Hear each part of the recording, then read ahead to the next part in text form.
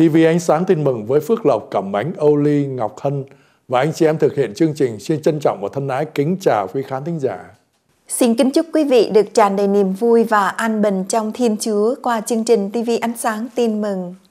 Hôm nay ngày 27 tháng 11 năm 2016, theo lịch phục vụ công giáo, hôm nay là Chủ nhật thứ nhất mùa vọng.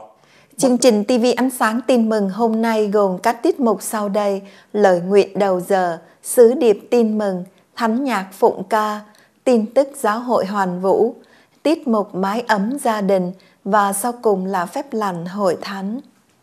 Giờ đây xin kính mời quý vị cùng hiệp ý với chúng tôi dâng lời nguyện lên Thiên Chúa. Lạy Thiên Chúa Chí Thánh, Chúa đã thương ban cho chúng con hồng phúc được làm con của Chúa. Xin cho chúng con luôn biết chuẩn bị tâm hồn đón mừng niềm vui ơn cứu độ bằng cách sống khiêm nhường, kính sợ Chúa trên hết mọi sự, siêng năng làm việc thiện, ân cần giúp đỡ người yếu thế và loan báo tin mừng tình yêu của Chúa đến cho mọi người. Xin Chúa chúc lành cho tất cả quý anh chị em đang thực hiện chương trình TV Ánh Sáng Tin Mừng, luôn nhiệt tâm phụng sự Chúa trong khiêm nhu. Và nguyện xin Chúa ban muôn ơn lành hồn xác xuống trên quý khán thính giả đang theo dõi chương trình TV Ánh Sáng Tin Mừng được tràn đầy ơn lành và tình thương yêu của Chúa.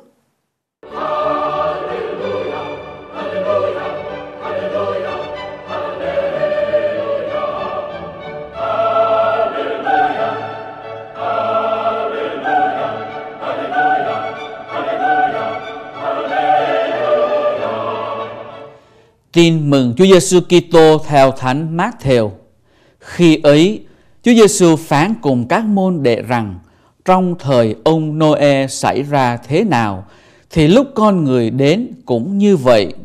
Cũng như trong những ngày trước đại hồng thủy, người ta ăn uống, dựng vợ, gả chồng, mãi đến chính ngày ông Noe vào tàu mà người ta cũng không ngờ, thình lình đại hồng thủy đến và cuốn đi tất cả, thì khi con người đến cũng sẽ xảy ra như thế. Khi ấy sẽ có hai người đàn ông đang ở ngoài đồng, một người được tiếp nhận, một người bị bỏ rơi. Và có hai người đàn bà đang say bột, một người được tiếp nhận, còn người kia bị bỏ rơi.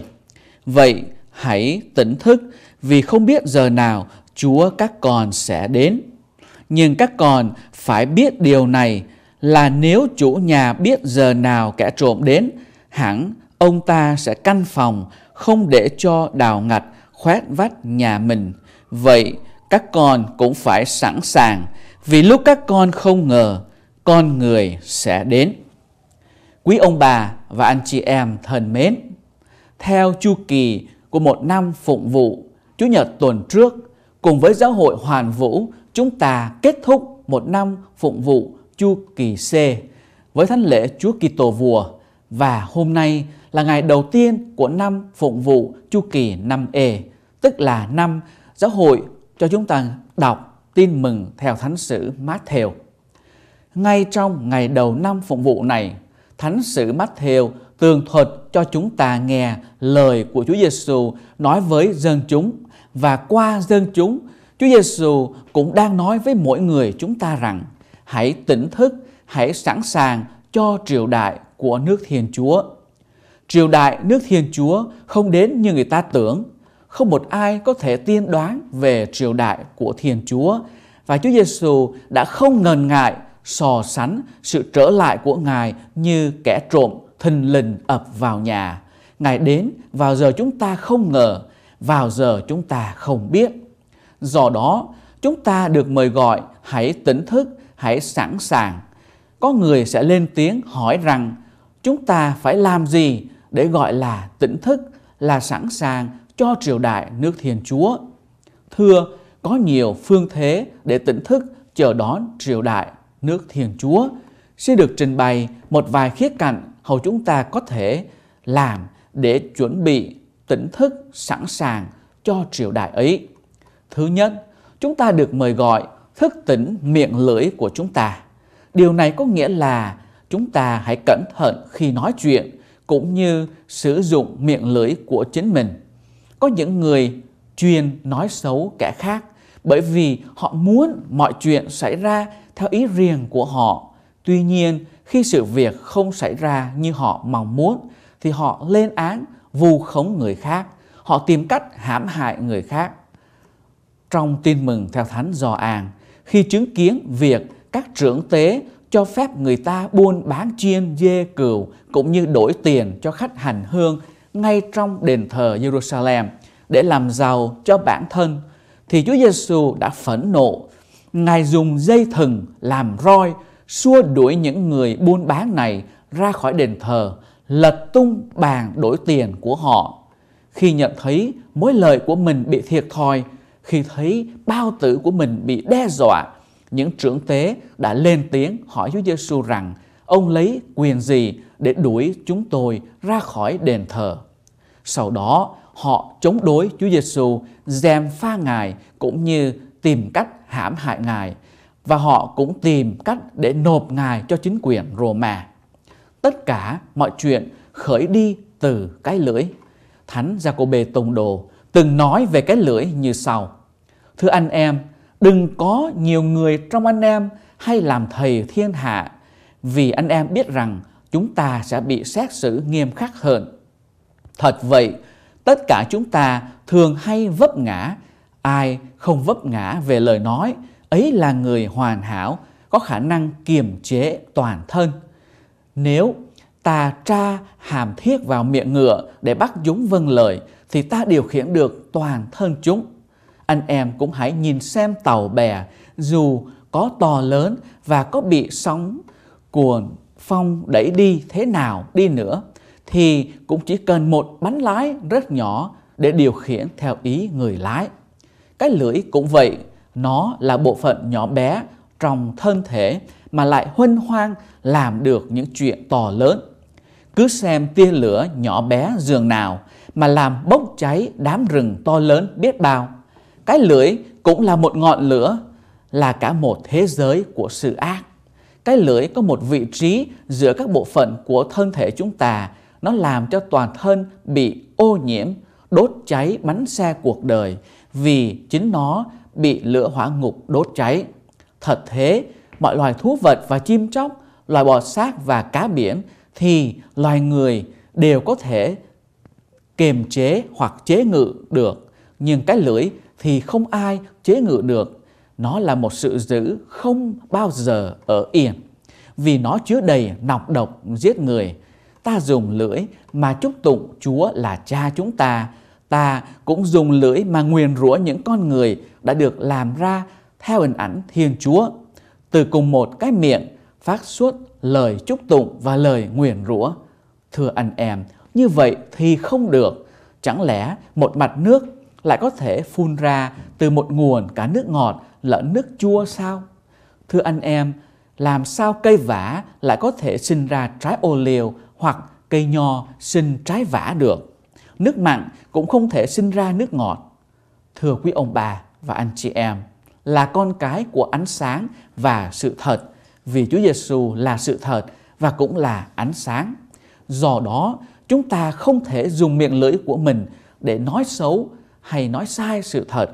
Điều này Chúa Kitô từng quả quyết, Thầy là con đường, là sự thật và là sự sống. Vì thế chúng ta được mời gọi nói sự thật. Một khi kềm chế được miệng lưỡi qua việc nói sự thật là lúc chúng ta đang tỉnh thức chờ đón Chúa Giêsu vì Ngài là nguồn chân lý, là sự thật bất biến. Nơi Ngài không có sự thỏa hiệp giữa sự thật và giả dối. Tạp chí Lương thực hàng ngày kể câu chuyện sau đây. Một ngày kia, có một người phụ nữ đến nhà thờ gặp cha xứ để xin xưng tội. Tội của bà ta là theo dệt câu chuyện thèn mắm muối để vu khống đặt lời của mình vào miệng người khác. Nói tóm lại, tội của bà ta là nói xấu tha nhân. Sau khi nghe bà ta trình bày, vị cha xứ ra việc đền tội cho bà ta, đó là đi ra chợ mua một con vịt còn sống về nhà xứ, vừa đi vừa nhổ lông vịt và rải trên đường làng. Đến đó vị cha xứ sẽ ban lời xá tội cho bà ta.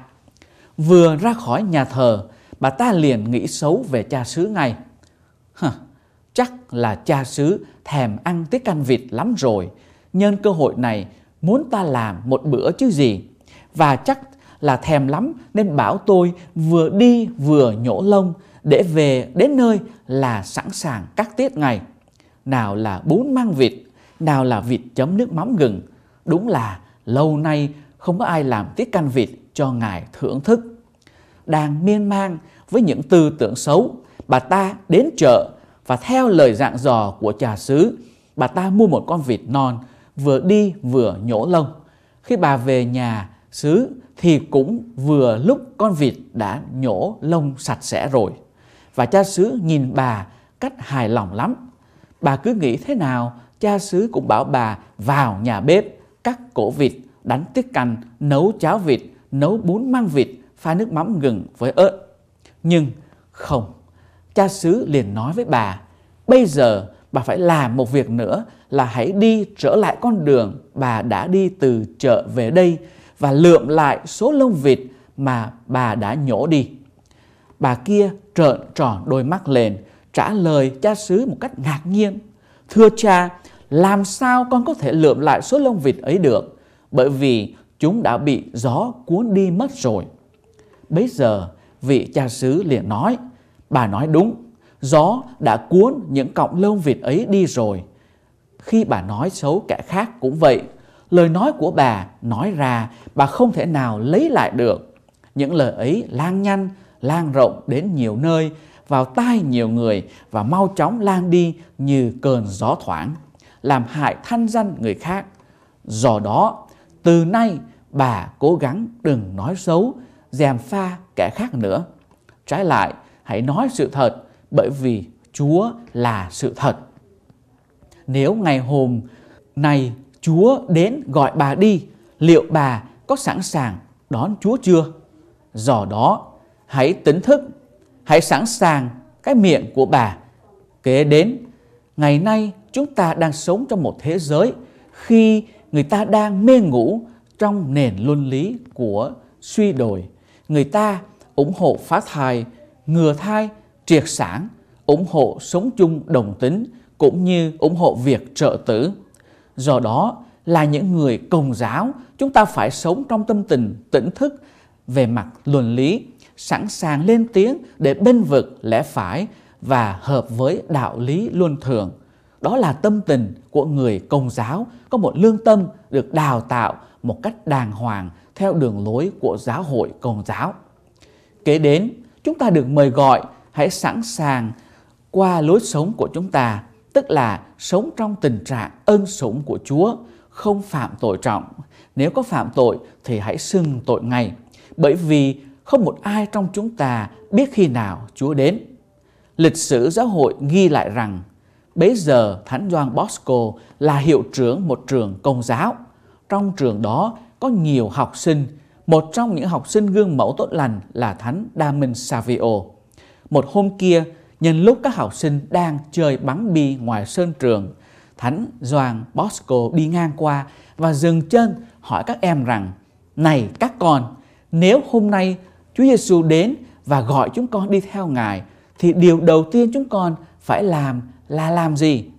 Có em trả lời, thưa cha, con sẽ về nhà làm hòa với em trai của con vì đêm hôm qua chúng con dành kẹo với nhau và con sẽ trở lại đây để chờ Chúa. Em khác lên tiếng, thưa cha, nếu Chúa Giêsu đến ngay lúc này thì con sẽ xin Chúa cho con vài phút để xét mình xưng tội vì con không vâng lời cha mẹ của con. Thánh Gioan Bosco quay sang hỏi cậu Đa Minh Savio, còn con, con sẽ làm gì khi Chúa Giêsu đến? Cậu đáp lại, thưa cha, con vẫn tiếp tục chơi bắn bi. Thánh Gioan Bosco hỏi lại, làm sao con có thể tiếp tục chơi khi Chúa Giêsu đến được? Cậu Đa Savio đáp lại, thưa cha, vì lúc nào con cũng sẵn sàng rồi, con xương tội mỗi tuần một lần, đều đặn lắm. Do đó, khi Chúa đến, con vẫn tiếp tục chơi, thưa cha.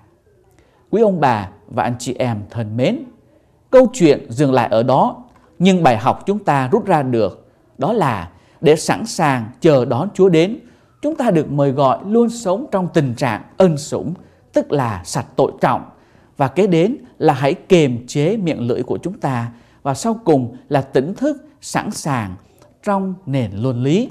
Xin Chúa chúc lành và ban những ơn cần thiết cho chúng ta để ta luôn sẵn sàng khi Chúa quang lâm. Amen.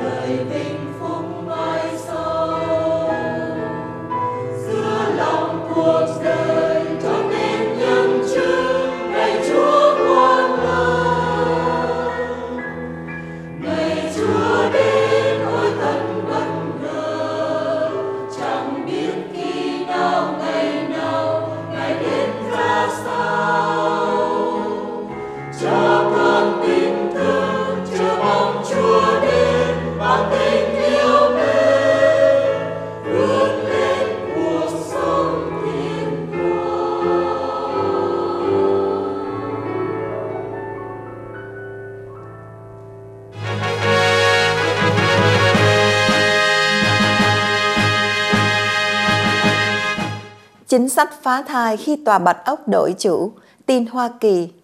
8 năm trước, nhóm ủng hộ phá thai vui mừng khi ông Obama trở thành Tổng thống thứ 44 của Hoa Kỳ. Giờ đây, giới phò sự sống thật sự hân hoan với hy vọng ông Tổng thống thứ 45 của Hoa Kỳ sẽ là cơ hội để cải tổ chính sách phá thai, nhất là khi ông Donald Trump hứa sẽ bổ nhiệm một thẩm phán tối cao bảo thủ và chống phá thai để thay thế thẩm phán Antonin Scalia. Ngoài ra, khi tranh cử, ông Trump hứa sẽ ngưng tài trợ cho tổ chức kế hoạch hóa gia đình, một tổ chức phá thai trá hình. Đức Thánh Cha Francisco khuyên loại bỏ tất cả những gì xâm phạm phẩm giá và lạm dụng con người. Tin Vatican, vào cuối tuần vừa qua, Đức Thánh Cha Francisco tiếp kiến các đại diện của tổ chức từ thiện công giáo Caritas trên toàn thế giới và khuyến khích công cuộc chống nạn nghèo khó một cách tận tình và học từ những người nghèo những bài học về nhân bản. Trong cuộc nói chuyện, Đức Thánh Cha khuyên phải đặc biệt chống lại việc loại trừ người khó nghèo, bệnh tật và cô thế qua bên lề xã hội và nỗ lực để sát nhập họ vào xã hội bằng cách loại trừ văn hóa đào thải và khuyến khích tình đoàn kết. Đức Thánh Cha đốc thúc cộng đồng thế giới hành động để chống việc thay đổi khí hậu. Tin Vatican trong một thông điệp gửi đến các thành viên của Hội nghị thay đổi khí hậu triệu tập tại thành phố Marrakech của xứ Maroc, Đức Thánh Cha đốc thúc cộng đồng thế giới hành động cấp bách trong việc chống sự thay đổi khí hậu.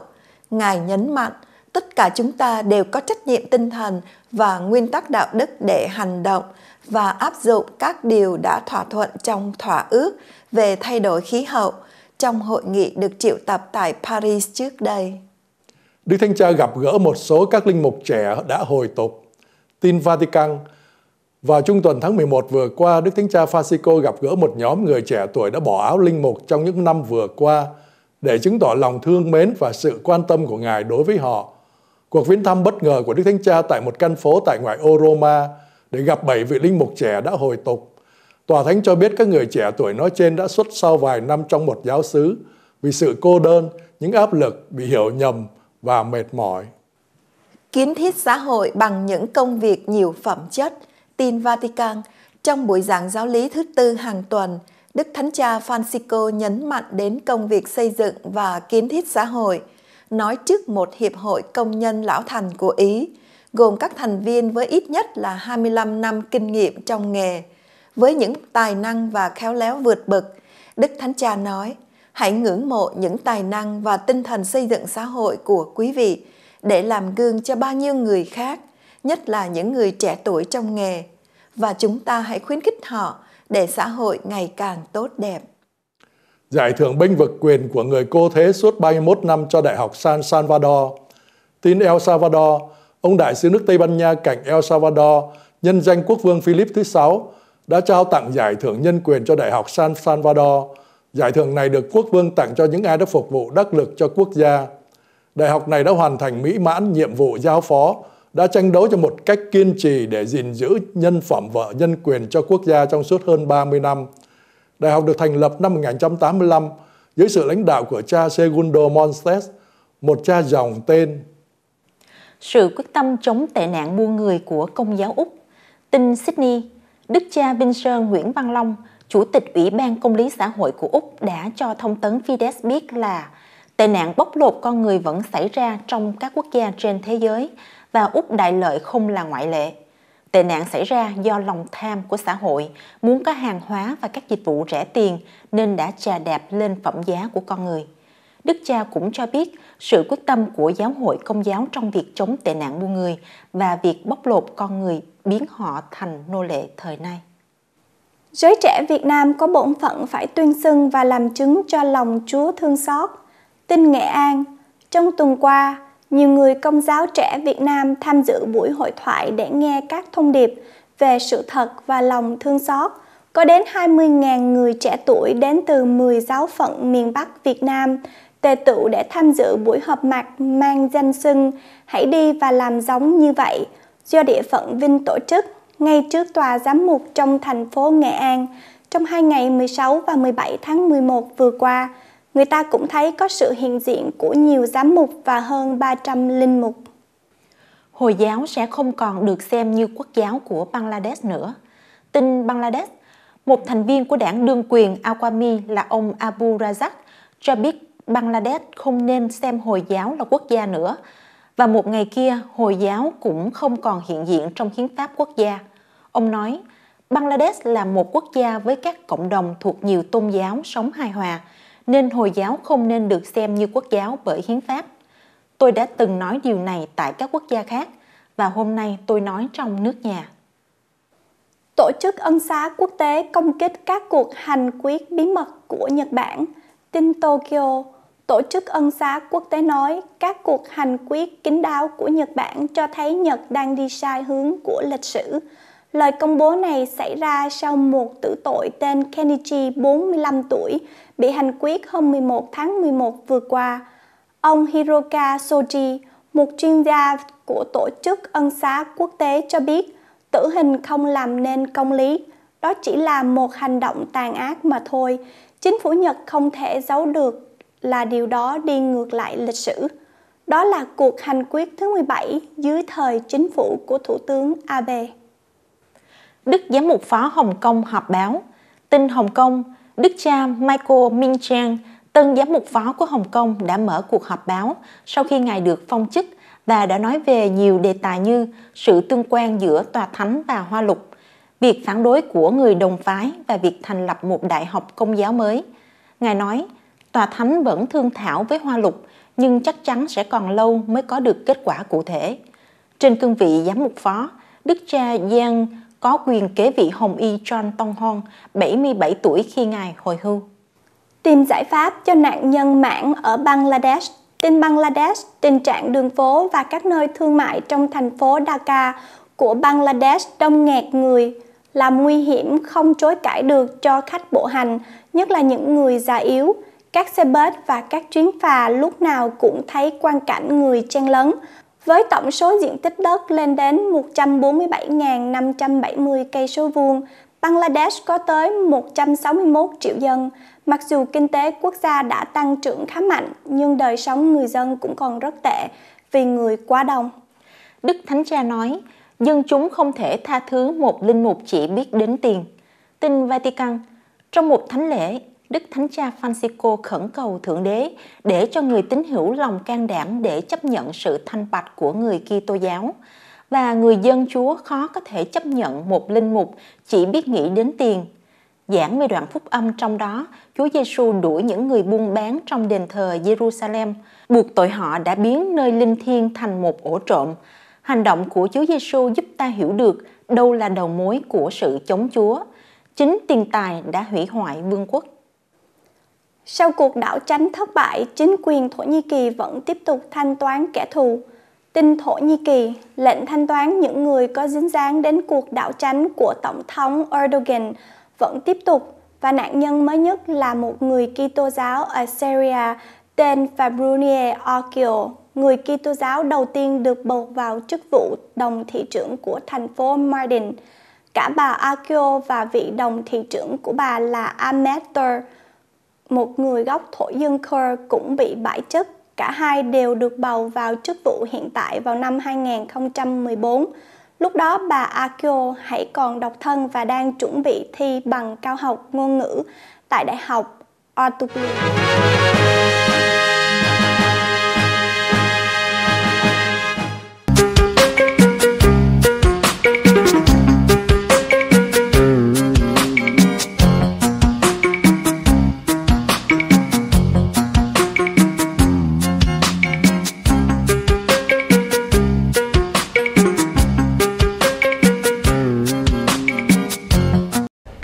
Và Mai Quỳnh xin thân ái kính chào toàn thể quý khán thính giả của chương trình radio Mẹ Hằng Cứu Giúp và TV Ánh Sáng Tin Mừng.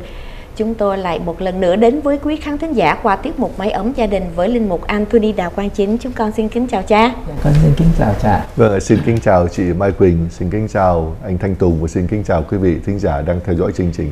Dạ thưa cha, chúng ta vẫn tiếp tục à, với chủ đề đồng hành với Đức à, Thánh Cha Francisco trong đời sống gia đình. Thì lần trước chúng ta cũng đã nói là à, trong đời sống gia đình thì mình cần phải có những lời xin như là xin anh, xin em, rồi à, hỏi ý kiến lẫn nhau. Thì à, qua cái thời gian đó thì con thấy à, chính con cũng đã thực hành những điều đó và con thấy nó rất là hiệu quả thưa cha. Ừ. vậy thì ngày hôm nay mình học à, tiếp à, điều gì đức à, giáo hoàng à, dạy à, cho những cặp à, hôn phối thưa cha?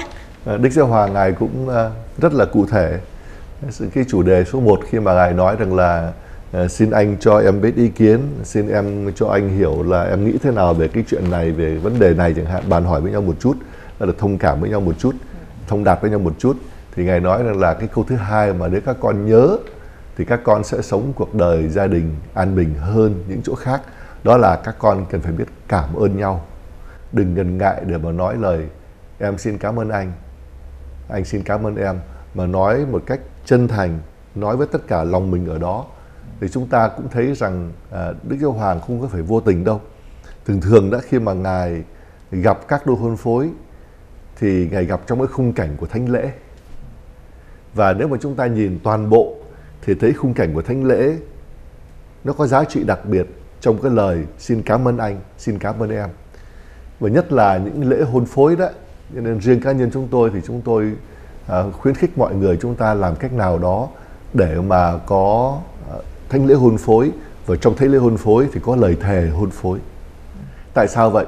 Vì thánh lễ bản tính của thánh lễ có nghĩa là tạ ơn trong tiếng gọi là Eucharistia Eucharistia là, Eucharistia nghĩa là sự tạ ơn. Và bí tích thánh thể thì gọi là bí tích tạ ơn. Chúng ta rước mình thánh chúa, rước máu thánh chúa, có nghĩa là gì? Có nghĩa là chúng ta tạ ơn chúa. Thế thì trong thánh lễ tạ ơn như vậy, hai vợ chồng đọc lời thề, tôn trọng nhau, yêu thương nhau và như vậy tạ ơn chúa vì đã cho mình nối kết với nhau. Chứ không phải chỉ là cái lời giao ước ở ngoài tòa.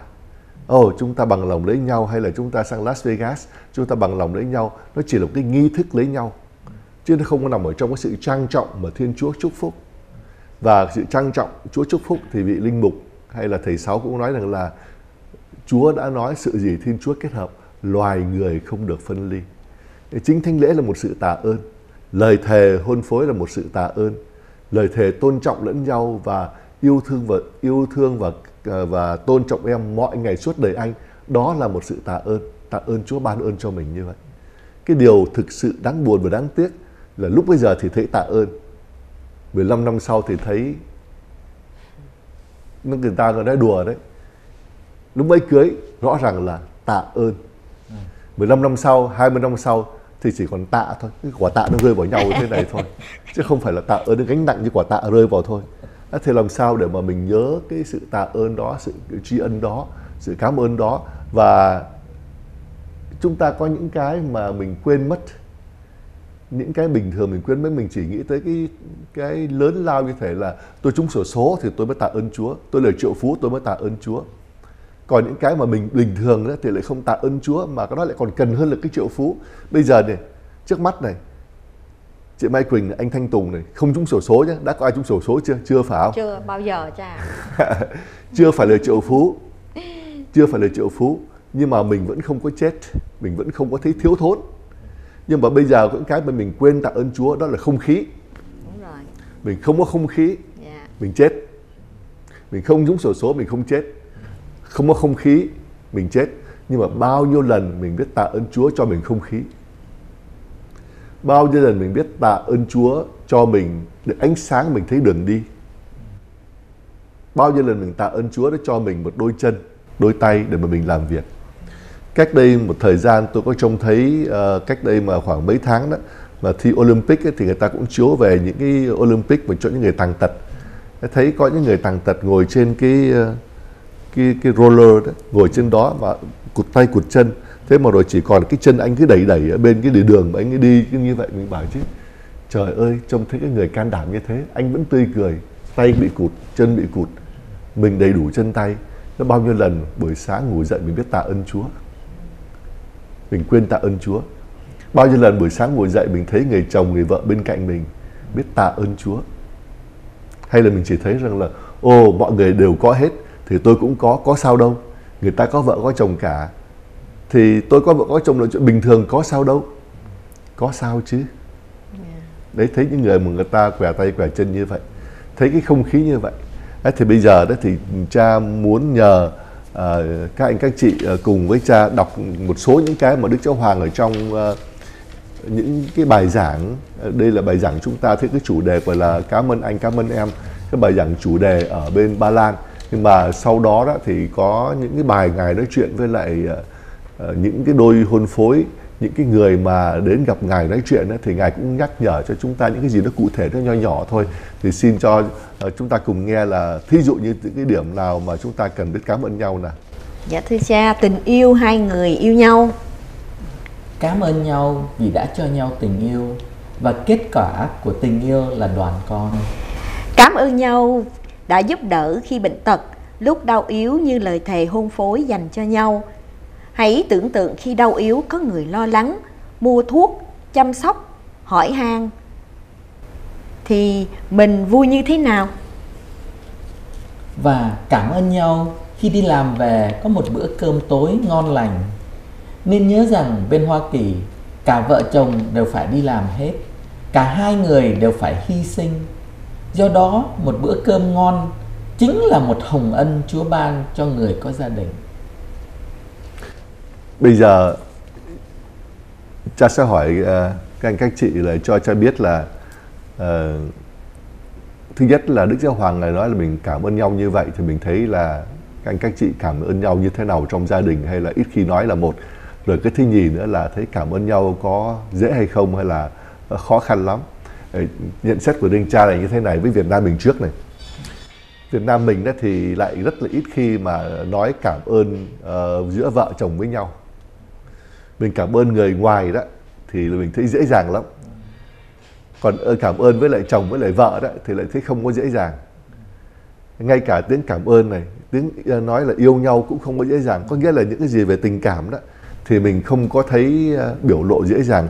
Cho nên chúng ta để ý ngay cả cái em trẻ, cái em bé bây giờ đó cũng thank you chồng nói, vợ, thank you. Thì thấy dễ hơn là ô anh cảm ơn em nhá. Thì lại có vẻ ít khi mà người chồng lại cảm ơn như vậy. Kiểu như là bổn phận của em là phải giúp cho tôi, chứ không phải là tôi cần cần phải cảm ơn.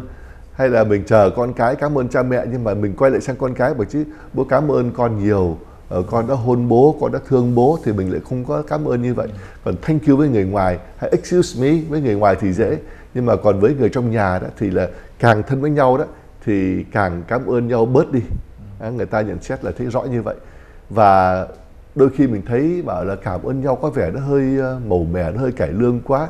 Bạn bè mình làm tốt cho họ đó thì mình cảm ơn họ. Họ quay sang mình họ không cảm ơn mình thì thôi mà họ mình cảm ơn họ đó. Họ không có tri ân mình thì thôi. Họ nói ôi ông này ông khách sáo quá đi có gì đâu mà cảm ơn. Dạ, đó, thì kiểu là như vậy. Đó. còn ở bên Hoa Kỳ đó thì họ nói rằng là con cái đó họ được huấn luyện để mà cảm ơn rất là thường xuyên. Đưa cái gì cho mình là mình phải biết cảm ơn thường xuyên như thế à, cha mẹ đưa lại càng phải cảm ơn nữa. Và những người nào mà người ta làm ơn cho mình thì mình càng cảm ơn họ như vậy. Thì có à, bây giờ cha muốn hỏi rằng là như các anh các chị đã thấy ở trong đời sống gia đình đó mỗi lần cảm ơn chồng cảm ơn vợ cảm ơn con cái thứ nhất là có cảm ơn thường xuyên hay không? Thứ nhì là thấy nói lời cảm ơn có dễ hay không? Và thứ ba đó là mình thấy là cái sự uh, cảm ơn đó là tự thật lòng mình thấy muốn như vậy mình muốn thích như vậy hay là mình bảo chứ thôi cái này đương nhiên là giúp qua giúp lại chứ việc gì đâu phải cảm ơn. Thì các chị nghĩ thế dạ, nào? thưa cha hồi đó thì con nhớ trước khi mà mình à, quen một cái người bạn nào bắt đầu mình quen á thì mình rất là trân trọng thưa cha. Cứ hở một chút là ô cảm ơn chị nha cảm ơn anh. Rồi cứ hở một chút ôm xô xin lỗi xin lỗi.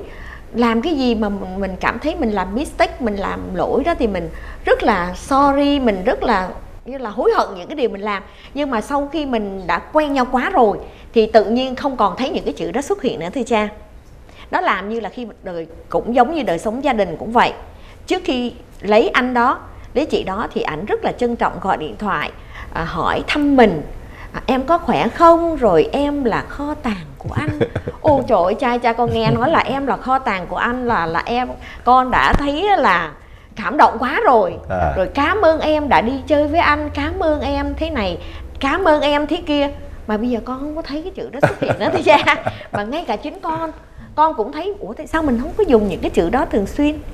Thì hồi đó ba con bị bệnh. Thì anh chàng lúc đó 11 giờ đêm cha. Thì cô em của con nói ừ, chị Quỳnh, đi vô coi ba con làm sao. Thế lúc đó khuya rồi. Mình sắp sửa lên giường ngủ rồi, biểu mình đi coi ba. Ở nước sinh hôn, ba con lúc đó là là 24 tiếng để take care thì thì con lúc đó con mới dòm thấy ông chồng con có nói, chứ anh ơi bây giờ anh đi với em được không? Đi vô ba chút xíu coi chút xíu thôi. Thế là ông chồng ở đang nằm trên giường rồi cũng lùm cùm ok đi thì đi. Thế là đi đến nơi về đến con nói chứ cảm ơn anh. Thực tình cha lúc đó ừ. mình cảm thấy lúc đó mình cần lắm mà lúc đó nửa đêm rồi không còn ai hết chỉ có người chồng của mình thôi. Con cái nó cũng đã đi ngủ thì mà người chồng chịu khó như vậy thì con thấy đó là một cái điểm tốt mà từ xưa đến giờ con không thấy ra nơi ông chồng của con. Ừ. đó lúc đó con nói lời cảm ơn mà lúc đó con nghẹn lời cha thằng vì nó khuya rồi mà ổng chịu khó ổng 4 giờ sáng phải dậy đi làm mà ổng chịu khó ổng đi với con. Thì con mới nhìn lại là ủa mình ở với nhau như vậy á, là cái thời gian của ảnh spend cho mình 100 năm của ảnh là maximum mà ảnh spend cho mình cái life của ảnh như vậy cái thời gian của ảnh như vậy. Mặc dù nhiều khi cũng có nhiều lỗi lầm thì bây giờ xí xóa lúc đó con xí xóa hết. À. à, rồi con cảm ơn ảnh. Đó À. thì lúc đó ảnh không nói gì nhưng mà con biết là ảnh rất là vui cha đúng đúng. Vâng, con nghĩ thường thường có, có một chuyện gì xảy ra thì hay có cái đi đến cái cái cái cái lời nói cảm ơn.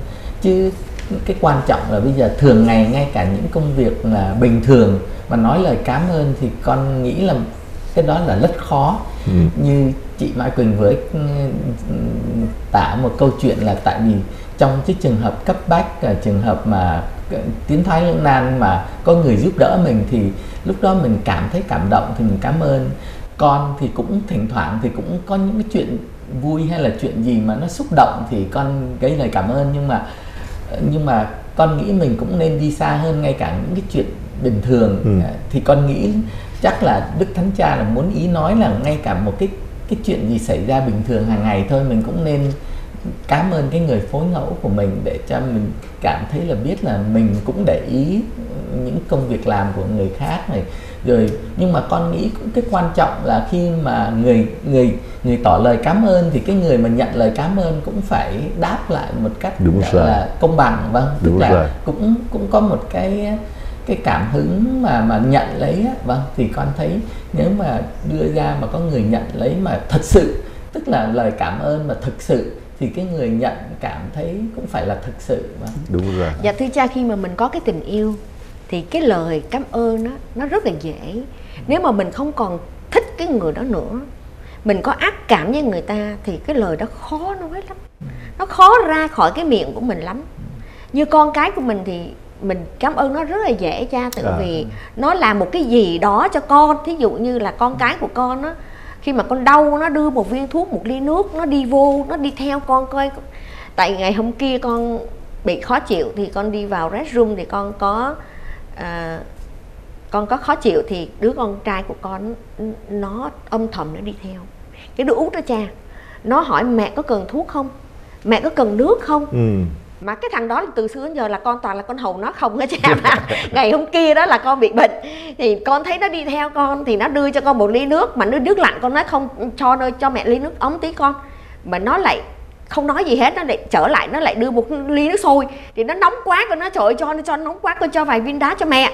Đó thì nó lại cho vào mấy viên đá cho nó nguội. Thì con thấy lúc đó con ôm nó con nói trời ơi cảm ơn cho nhiều nhá con thấy nó ôm lại mình cha. Ừ. nó cảm ơn mình thì đối với con cái dễ lắm nhưng mà đối với những người mình khó ưa đó những người nào mà mình có cái định kiến rồi đó thì cái lời nói nó không có được. Nó nó khó lắm cha. Đúng rồi. Mà trong nhà đó thì à, với với à, tình yêu thì mình coi như là thoạt đầu là phải có vì đó mới là sống đời vợ chồng với nhau. Về sau rồi nhiều chuyện hiểu lầm nhiều chuyện đáng tiếc xảy ra nó mới biến thành một cái gọi là mình không yêu nhau nữa thì mới là khó để mà nói lời cảm ơn với nhau. Chứ còn lúc đầu thì thì tình yêu phải có đó thì cảm ơn tương đối là nó phải dễ. Có một cái để mà chúng ta cũng nên lưu ý một chút thế này mà mình cũng phải cảm ơn người Hoa Kỳ đó. Thì người Hoa Kỳ đó, họ lại à, chú tâm tới cái vấn đề ở Việt Nam mình ngày xưa có cái môn công dân giáo dục, nhưng mà nó lệ thuộc nhiều về gia đình và cái truyền thống mà không viết thành bản văn. Còn người Hoa Kỳ đó thì mình vẫn chê họ là họ sống theo luật pháp quá. Thế nhưng mà những cái họ dạy dỗ để mà biết tri ân biết cảm ơn xã hội cảm ơn người trong gia đình thì họ lại dạy dỗ rất là rõ ràng và tốt đẹp. Đấy, bố đưa cho cái gì? Nhớ cảm ơn cái đó bởi vì nếu mà không có bố thì là bạn sẽ cũng không có cái đồ chơi này bạn sẽ không có cái này. Bạn đã biết cảm ơn bố cảm ơn mẹ của bạn chưa? Rồi về nhà đó bạn đã có biết lối rửa bát giúp cho cha mẹ vì đó là người ơn của mình. Đã biết lối để mà hút bụi trong nhà hay không. Con nít ở trên trường Hoa Kỳ nó lại được dạy dỗ rõ ràng và hơn mình. Rồi là khi mà hôm sau trở lại đó thì người ta sẽ hỏi tiếp là đưa cho cái bản làm rồi hay chưa làm rồi hay chưa làm rồi hay chưa? Thì nhiều khi hai anh em nó học ờ, cùng một cái lớp với nhau đó nghĩa là không phải cùng lớp mà cùng một cái course với nhau chung đó. Đấy, thằng anh thì ờ, cũng lười không có đánh không có chịu làm ở trong nhà nhiều nhưng mà khi mà lúc mà nó đánh cái ờ, bản ấy, thì gọi là cheating đấy cái gì nó tốt tốt tốt. Thằng em nó bảo chứ you are cheating. Ở nhà chẳng có biết lối rửa bát chẳng có lối giặt quần áo chẳng có gì cả mà bà làm hết mọi sự cho mẹ you are cheating. Thì thằng anh xấu hổ từ đó gì thì giờ anh cũng có tốt hơn. Mà đó là cái để mà người Mỹ họ có cái tương đối nó tốt hơn cho mình là như vậy giờ để cha kể câu câu chuyện của chính cha một chút xíu mình nhiều khi mình không có lưu ý không phải là cha chỉ nói là mình cảm ơn Chúa cảm ơn uh, Chúa cho mình chúng ta cái không khí để mà thở. Nhưng mà rõ ràng là chúng ta quên đi nhiều cái thứ tốt lành ở trong đời sống mình quá. Ngay cả như cha bây giờ chẳng hạn đi làm việc ở bên nhà thờ xong nhà đây của cha là có ờ, một vài cha một vài thầy ở sống chung rồi là cũng có các cha cũng đi giúp cuối tuần như vậy làm lễ xong, đến lúc mà 3 giờ xong về tới nhà, quả tình nó cũng khá mệt. Lúc bây giờ chỉ mong làm sao mà Việt Nam mình mới gọi gọi là gọi là cơm nóng canh sốt đấy canh dẻo, cơm dẻo, canh ngọt chẳng hạn như vậy đó. Có nghĩa là cơm nó đang nóng sốt rồi vô ngồi ăn. Chỉ mong làm sao để mà được một cái bữa cơm như vậy thôi. Về nhà thì đương nhiên là mình không có, lại phải mang đồ ăn ở trong tủ lạnh ra nấu nấu, rồi là chỉ nấu đi nấu lại, nấu đi nấu lại thôi. Nhưng mà cha nghĩ rằng là các anh các chị ở trong gia đình nếu mà đi làm về đâu xa về mà có một bữa cơm ngon như vậy chưa chắc biết lối để mà quay sang cảm ơn chồng cảm ơn vợ đâu. Nó coi như là một cái bổn phận của người vợ đó cha. Đấy. Nó đã xảy ra rất là nhiều những cái cái cái tình trạng à. như vậy. Bình thường đấy bình thường không cảm ơn nữa. Vâng, vâng. dạ. Cho nên có khi cái lời cảm ơn lại là cái lời mà chúng ta cần phải nhắc nhở cho nhau. À, lại một lần nữa cha thấy thương như thế này này. Là nếu mà chúng ta chỉ có một phía cảm ơn thôi còn bên kia nghĩ là tôi có quyền à, tôi gia trưởng mà. Tôi có quyền Việt Nam mình ngày xưa là người chồng là người đi làm kiếm tiền bà vợ ở nhà nuôi con. Thì ông chồng ông nghĩ rằng là tôi là người đi kiếm tiền về nhà tôi đưa tiền cho bà thì bà phải cảm ơn tôi. Nhưng mà ông quên cái điểm đó ai là người nuôi con cho cho ông ấy? Ai là người giữ gìn nhà cửa sạch sẽ cho bà ấy? Đấy. ai là người mà lo lắng những chuyện ở trong nhà đâu ra đó cho ông ấy? Ông ấy quên. Về Việt Nam mình đó thì đến lúc mà mình phải sửa lại cái tâm tưởng Việt Nam mình vì đi. Là bởi vì các cái luật lệ đó kể cả về luân lý đều do các ông viết. Cho nên bao giờ cũng bênh các ông. Thấy các ông đều là phải là gì quan trọng phải là trên mọi sự thế này. Bố nói là chúng mày phải nghe. Đó, và nhiều khi chúng ta thiếu cái liên hệ giữa cha với con. Đó, bên này thì thấy rõ ràng là bố bế con thạo không khác gì mẹ bế con cả. Ai mà có khiếu bế con là bế con. ai có khiếu cho con bú là cho con bú. à, mà tôi đã có một lần tôi đến thăm những gia đình vào cái kỳ birthday đấy thì thấy mấy ông thay tã cho con con bé đó đứa bé nó bảy tám tháng thay tã giỏi quá sức rất là đều. Thay tã đều lắm. Đều gấp gấp xong rồi là bảo ủa ở nhà ai làm vậy? Anh cười anh bảo chứ nhà con làm ấy tại vì ờ, con làm đấy thưa cha bởi vì nhà con ờ, thay tã thằng bé nó khóc nó không có khéo bằng con.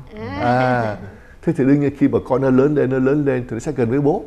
Và đó là cái chuyện làm được thay tã cho con có phải mất mặt với thế giới gì đâu. Nhưng mà ngày xưa mẹ mày thay tã cho con. Tao đi làm kiếm tiền về. Thì đó là cái quan niệm mà chúng ta thiếu tôn trọng. Rồi đồng thời mà mình nghĩ rằng là mình là người trên thì mình đâu có cảm ơn người dưới. Cho nên đã đến lúc để mà chúng ta theo như Đức Giáo Hoàng đây Ngài nhắc nhở đó là khi mà chúng ta tôn trọng nhau thì phải biết cảm ơn nhau, bày tỏ sự cảm ơn đó cho nhau. Dạ thưa cha, đàn ông người ta cứ nghĩ là người ta phải làm chuyện lớn. Mà những cái chuyện nhỏ là đàn bà phải làm Mà con nhìn tới nhìn lui đâu có cái chuyện nào lớn đâu Toàn là chuyện nhỏ thôi. Mà con có một cái chị ở trong nhà thờ Chị nói là ông chồng thì đi làm xa Một năm về hai lần. Vợ ở nhà đó thì chỉ có lo cho con cái thôi Rồi nấu nướng rồi đưa nó đi học. Mà chị ta học rất là giỏi nhưng mà chị ta không có đi học được tự vì phải vướng mấy đứa con bốn ba đứa lực. Rồi đưa đi đón về ở nhà lo lau lọt sạch sẽ rồi nấu cơm đến lúc mà ông chồng về một cái là ngồi ở trên bàn á, là ngồi chờ bà vợ cơm bưng mà nước rót. Xong rồi một thời gian sau lại bảo lãnh gia đình của chị của mình ở bên Việt Nam về. Thế là bà vợ phải hầu hạ cái gia đình của người chị nữa.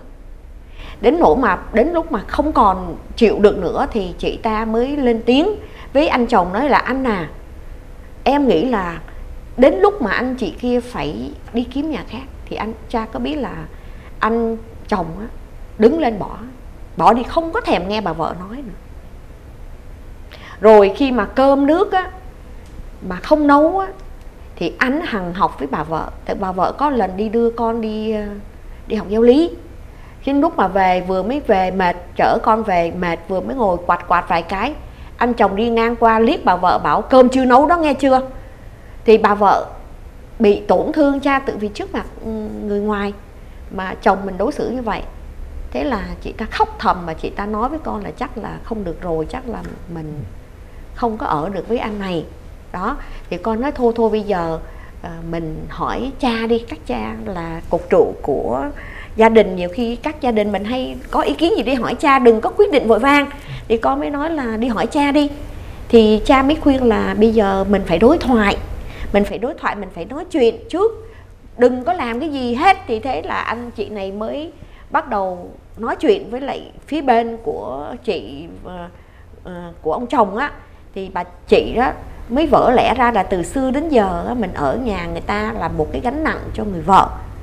Mà không giúp đỡ một cái gì anh chồng cứ về ở về nhà là cứ ngồi trên bàn là expect là phải có cơm nước. Có hôm cô vợ bị bệnh cha. Thế là cả nhà ăn mì gói lúc đó mới nhìn ra là người vợ mình là quan trọng. Không có vợ làm sao mà có cơm cho con cái ừ. mình nó ăn. Thực ra thì ông chồng như vậy là ông không phải là ông lấy vợ ông chồng là ông kiếm người nấu bếp ấy. Người chứ không phải là, là lấy vợ nên nó không có công bằng cái điểm đó bây giờ thế này cái cụ thể đi. À, mỗi người có một cái góc đóng góp để cho trao hỏi thế này. Ừ. nếu mà à, anh Thanh Tùng chị Mai Quỳnh mà được chọn ba cái để mà người bạn đời của mình cảm ơn mình thì ba cái điểm nào mà các anh các chị thích người bạn đời mình cảm ơn mình hơn cả ba điểm nào nào? Dạ thưa con con con sẽ cảm ơn là có một người vợ trong đời con rồi. một người đồng hành với con. Và, đúng rồi. Với um, với một người mà con con biết là nếu mà có chuyện gì thì con sẽ sẽ sẽ tìm người đó đầu tiên không phải bố mẹ mà là chia sẻ được vâng, chia sẻ cái khó khăn đó. Vâng với cả con nghĩ là người đó thì con tin tưởng hơn hết Đúng. vâng hễ mà có gì thì con tin là người đó sẽ giúp con vâng, vâng. chứ không có không có ý hại con vâng. đúng đúng dạ thưa cha đối với con thì à, có ba điều con muốn ông chồng của con à con muốn con cảm ơn ông chồng con vì ảnh đã chọn con rồi. giữa bao nhiêu người Đúng anh rồi. nói con là kho tàng của ảnh đó cha rồi. À. thế là con mới lấy ảnh đó à. là con cảm ơn ảnh đã câu đó đó không bao giờ con quên ba chục năm nay ảnh nói với con là anh đã tìm được kho tàng của anh rồi đó à. là cảm ơn anh là đã chọn em à. rồi cái điều thứ hai đó là con cảm ơn ảnh đã sống với con chung thủy mặc dù trong cái đời sống mình mình không biết rõ là có chung thủy cách nào không biết nhưng mà con thấy ảnh vẫn đi làm và ảnh có về ảnh có đưa tiền cho con để con trả tiền nhà. Rồi, rồi ảnh cộng tác với con trong việc coi sóc con cái và giúp đỡ mẹ của con cha. Rồi. Rất là hăng hái. Đó là ba điều mà con thấy điểm tốt mặc dù ảnh không phải là người người hoàn toàn nhưng mà cũng có nhiều lỗi lầm lắm. Nhưng mà con nhìn qua ba cái điểm tích cực đó là con có cái sức để mà con tiếp tục con sống với ảnh và con cầu nguyện cho ảnh để ảnh trở thành một người chồng lý tưởng hơn. À, như rồi. lời đức thánh cha đó cha. Đúng rồi. Dạ. đúng rồi đó là những điều chúng ta phải cảm ơn nhau và cảm ơn chúa. Vâng chúng con xin cảm ơn cha. Kính thưa quý khán thính giả chuyện còn rất là dài mà chúng ta lại hết giờ rồi. À, kính mời quý thính giả theo dõi tiếp vào lần sau. Và giờ đây kính mời quý thính giả cùng chúng tôi lắng động tâm hồn hiệp ý với Linh Mục Anthony Đào Quang Chính trong phút suy niệm cuối giờ. Lời Chúa chúng con tạ ơn Chúa. Tạ ơn Chúa đã gọi những người sống đời vợ chồng cùng đồng hành với nhau, cùng chia sẻ cuộc sống với nhau. Chúng con tạ ơn Chúa về rất nhiều hồng ân Chúa đã ban cho những người trong cuộc sống gia đình khi họ tiếp nối niềm tin, tiếp nối đời sống.